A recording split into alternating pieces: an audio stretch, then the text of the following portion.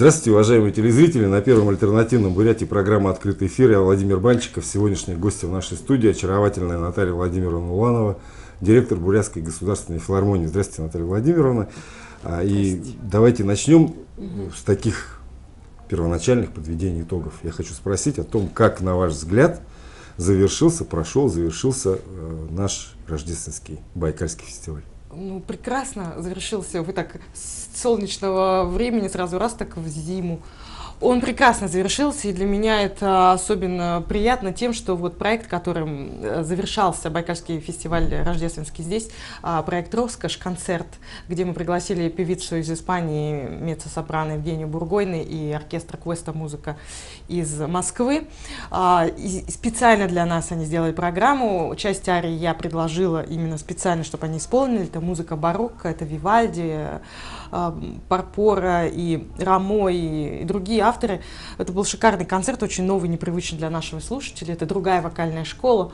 И что я хочу сказать, так к чему я веду, что сейчас, 27 апреля, именно эта программа состоится в Московском международном доме музыки. И, и они пишут мне, что, конечно, это все благодаря вам, то есть фактически вы автор и Бурятии, вдохновитель да, этой потому программы. что я этих людей познакомила, потому что они раньше друг друга не знали. Оркестр и певица, она жила в Испании, они в Москве.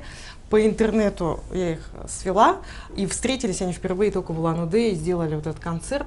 И, и сыгрывались тоже? Сыгрались вообще, как всю жизнь друг друга знали, и, и все получилось настолько прекрасно и хорошо, что вот теперь этот, э, премьера этого проекта состоится в Москве в Доме музыки. Ну, это вообще замечательно. Я да. вас с этим поздравляю, да. потому что вы один из авторов, да. получается, этого вот, проекта. Да, это так Made in, in Улан-Удэ. Made in Бурятии. А, Наталья Владимировна, теперь о планах, связанных вот э, с очередным вашим грандиозным, на мой взгляд, проектом, который называется пиццикат. Вообще, пиццикат что это такое? Пиццикат – это музыкальный термин, это прием игры на струнных инструментах без смычка, пальцами щипковый такой. То есть числе и на скрипке? Да, на скрипке, виолончели. То есть вот э, мы на этом фестивале и в прошлом году, где была представлена вся палитра струнных инструментов, на каждом концерте был использован этот прием. И виолончель, и альт, и скрипка, а, и контрабас. Везде музыканты играли пицциката. Ну, то есть это в, в контексте произведения, не, не, не все произведение ну, играет? Нет, нет, нет, а нет. Часть это такая краска, да? это да, это какой-то элемент, это и вот, кстати, будет «Белый острог» у нас в апреле не в рамках фестиваля пицциката, просто сольный концерт э, Артем ну, Якушенко. Давайте скрипач. про «Белый острог чуть попозже да, поговорим, тоже использует пицциката очень часто. У них есть произведение «Улитка», и вот оно только на пицциката практически. А вот кто будет участником фестиваля пицциката? Есть такие имена, Вчера, от которых любители классической да. музыки просто будут... Э, пищать, да? Да. И падать в обморок. А, вчера состоялся первый концерт, это было открытие фестиваля, Филипп Копачевский фортепиано, Александр Рам виолончель. А, у публика пришла очень профессиональная, на мой взгляд, потому что первый критерий – это не звонили мобильные телефоны и не а, хлопали между частями люди что сразу говорит о том, что люди понимающие, что... Дослушивали до конца. Что, да, не, не то, что дослушали до конца, то есть некоторые произведения состоят из нескольких частей. И вот часть заканчивается, и э, э, люди, которые не в теме, так называемые, они начинают хлопать, думая, что произведение закончилось. На самом деле закончилась только одна часть, и э, следующая начнется. И вот когда три части отыграется, тогда можно аплодировать. Вот те, кто это знает, они молча сидят и ждут, э, пока начнется следующая, следующая часть. Вот. А те, кто не знает, естественно, хлопают. Так вот, таких случайных аплодисментов вчера не было. Был, и, и было видно, что публика была очень такая э, образованная, очень э, понимающая, очень чувствующая. И, конечно, эти люди по достоинству оценили уровень исполнителей, и зал просто в конце встал. Э, и, конечно, не хотел отпускать музыкантов, настолько это было вот... Э, большое удовольствие от их игры, от э, профессионализма и вообще всего. Вот вы своим профессиональным взглядом, вы видите, что наша публика становится более э, склонна вот к, к тем экспериментам, которые mm-hmm. вы ей предлагаете. Я знаю, что вы экспериментатор такой в душе и против... Я, я очень, да, экспериментатор, но что касается пицциката, это очень классический фестиваль, очень такой ну, это высокий уровень классики, скажем так. Тут нет экспериментов никаких, это ноль. Но как раз вот в этом и сложность, потому что многие люди, наша публика, считают, что это сложно. И не рвутся бежать и покупать билет. А, хотя для того, чтобы понять, сложно это для тебя или не сложно, тебе наоборот надо прийти хоть раз в жизни и послушать а вдруг тебе это понравится. И вот понимая это, что человек может прийти в первый раз и случайно, и если он разочаруется, он больше не вернется. И я это понимаю, поэтому для нас очень важно, чтобы этот первый раз для него не оказался последним, чтобы он полюбил. А для этого должен быть уровень музыкантов очень высокий. То есть это экстра класса музыканты, и мы этот уровень выдержали. Это все солисты Московской государственной филармонии, лауреаты многочисленных международных конкурсов. И, конечно, один квартет Бородина, чего стоит, э, который будет выступать у нас 8 апреля. Это коллектив Бренд. Это один из лучших квартетов мира струнных. А струнная в чем, ну, скажем, ценность да, квартетного искусства? то, что не каждый солист, вот если мы выбираем солиста скрипача, солиста виолончелиста и солиста, допустим, альтиста, а, мы а, соберем их четверых в один квартет. Не факт, что они сыграются. Потому что между... индивидуальность. Конечно. А тут вот все четверо должны звучать как единое целое. И каждый, вот Владимир Ткаченко, наш альтист, мне рассказывал, что каждый из этих четверых должен предчувствовать, что будет звучать, какой звук издает его сосед партнер. слева и справа, да, его партнер. То есть вот это вот сыгранность, вот это чувство друг друга, это очень ценное качество, и, и поэтому вот э, не каждый квартет можно назвать квартетом. Могут есть... они сидеть четвером и играть каждый свое, да? А произведение художественное не создать. То есть проще в оркестре, да, там где-то сфальшивить, не услышать, и это никто не заметит. Ну, конечно. Получается так, да, на самом деле? Да. А Наталья Владимировна, публика молодеет или все-таки нет? Ваша? Ну, мы стараемся, чтобы она молодела, наша публика. Здесь же, видите, все зависит еще от э, уровня, от опыта слушательского. Вот, э, конечно, много молодых, я имею в виду студентов колледжа искусств или Чайковского, или э, детишек, которые учатся в ДШИ, но э, публика, которая эти ходят для того, чтобы получить опыт, да, чтобы ухо свое практиковать, э, эмоции какие-то.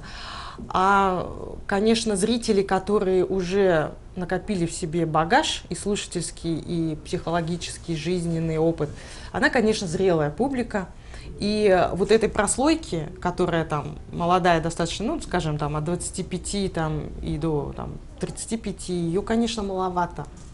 Что, что тут скажешь? Э, я не скажу, что прямо стоят очереди безумные на фестиваль пицциката.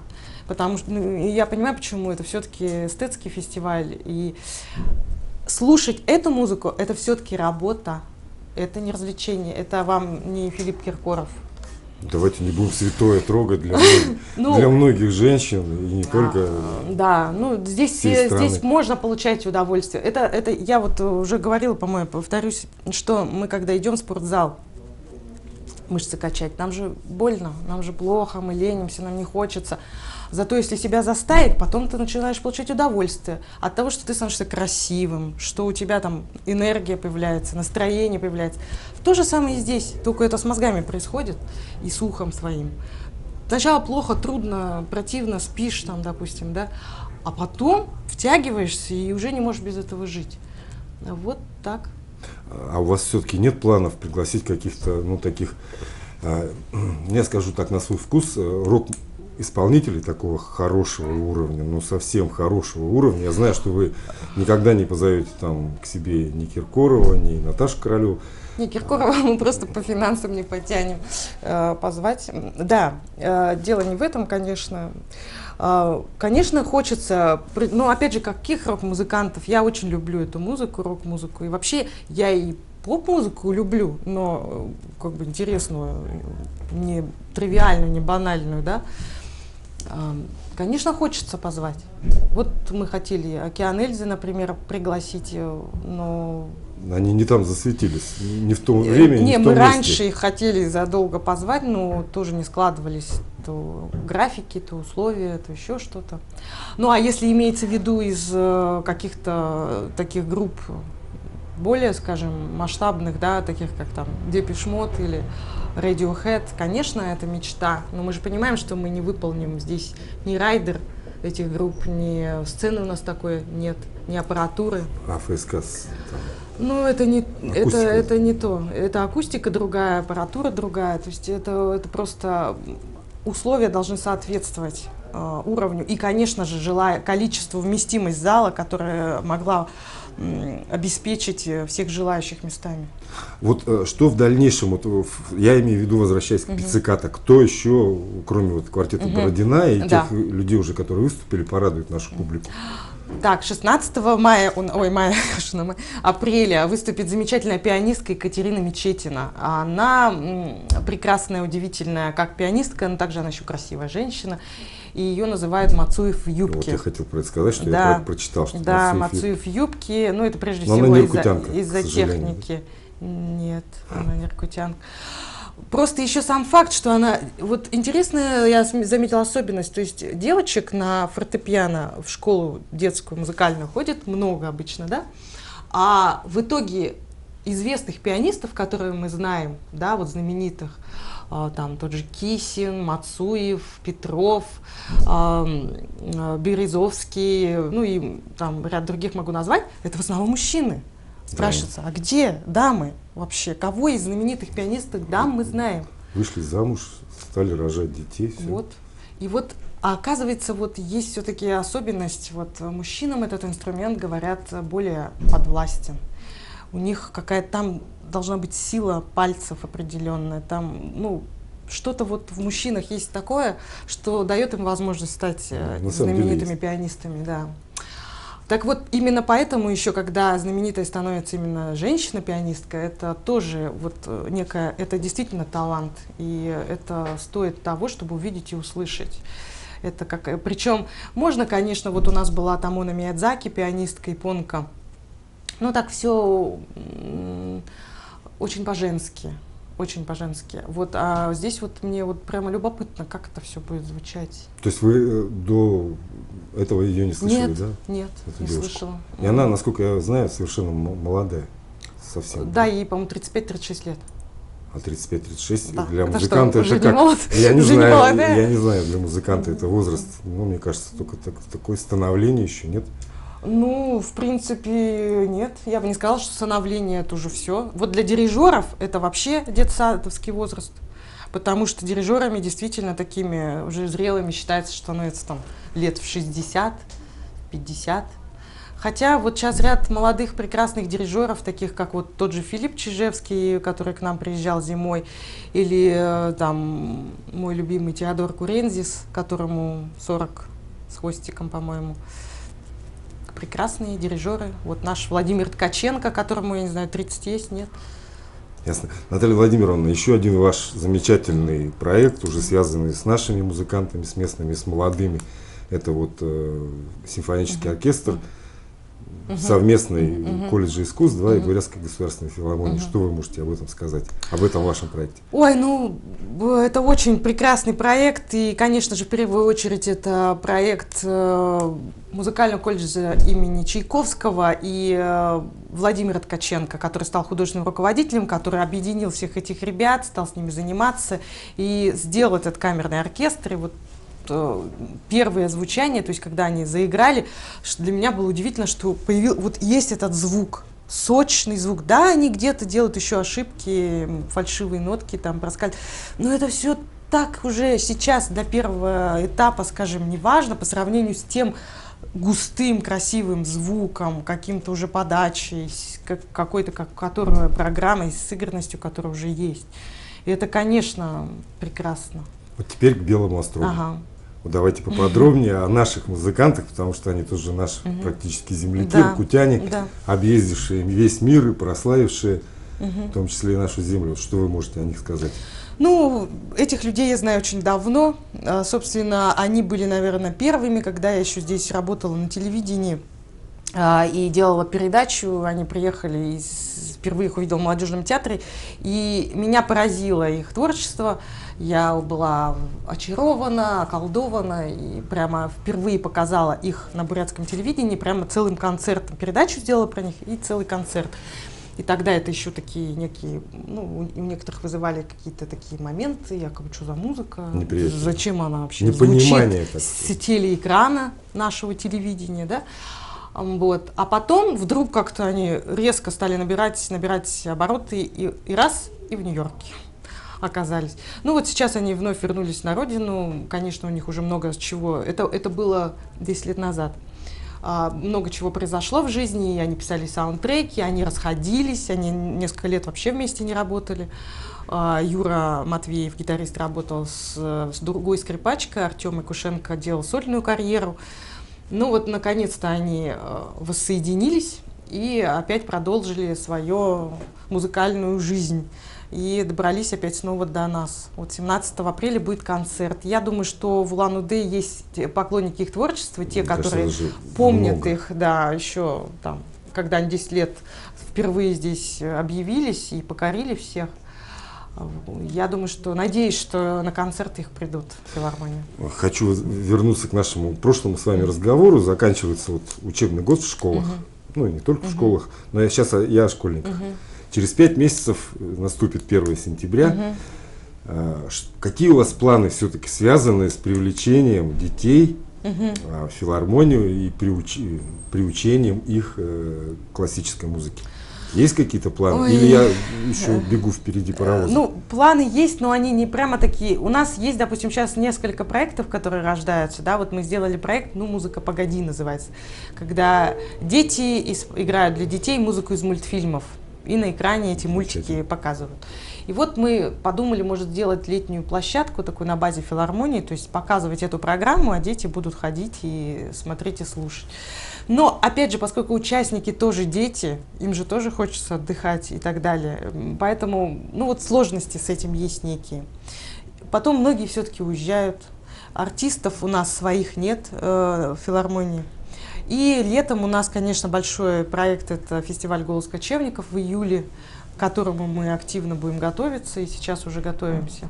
Поэтому, ну вот пока, вот э, единственное, может, будут какие-то летние лагеря, но опять же это больше специфика детских музыкальных школ, чем наша.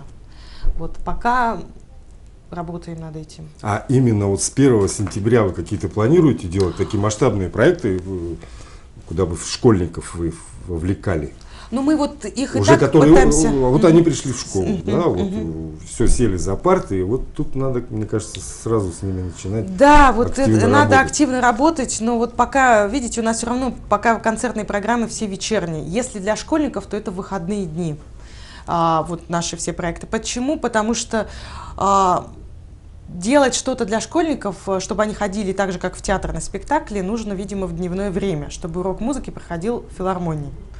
Вечером это осложнено тем, что родители не хотят вести детей зачастую. Они пришли с работы, устали, им хочется полежать на диване и никуда идти не хочется. У детей большая нагрузка, нам говорят. Они ходят там в кружки, секции и так далее. Уроки. И вечером заставить себя пойти в филармонию далеко не каждый готов. А, вот, поэтому путь дневные концерты, либо выходные дни.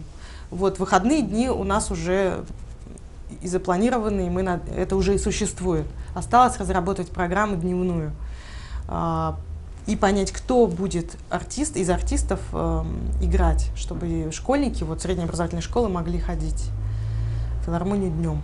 А кроме голоса кочевников, угу. какие еще у вас планы, я имею в виду, связанные с летним? Периодом, когда вот у нас ну, люди в отпусках, школьники на ну, каникулах? Понимаете, «Голос кочевника» слишком масштабный проект, э, и вот э, сезон обычно закрывается в филармонии в мае. В конце мая мы его закроем фестивалем «Музыка-кино». И, наверное, в июне, я не знаю, возможно, будут какие-то концерты, э, ну, вот каких-то приезжих артистов. Но что-то такого глобального не будет, потому что глобальное будет в июле.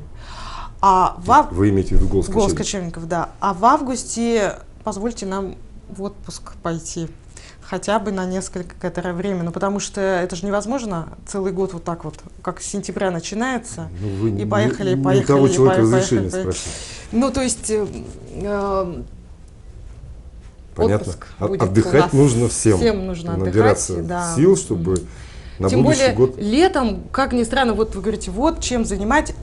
На самом деле люди, у людей Байкал, дачи и миллион других причин, чтобы никуда не ходить. Вот голос кочевников, угу. сколько, э, какое количество участников предполагается? Ой, я не считала, ну, не меньше 50 это точно, то есть это просто сейчас вот идут как раз принимаются решения по поводу групп, кто будет, какие будут, допустим, вот одна группа из Кении, например, их там 9 человек, оркестр из Сербии, Боба Маркович Бенд, да, который играл для фильмов Кустурицы, их 15 человек.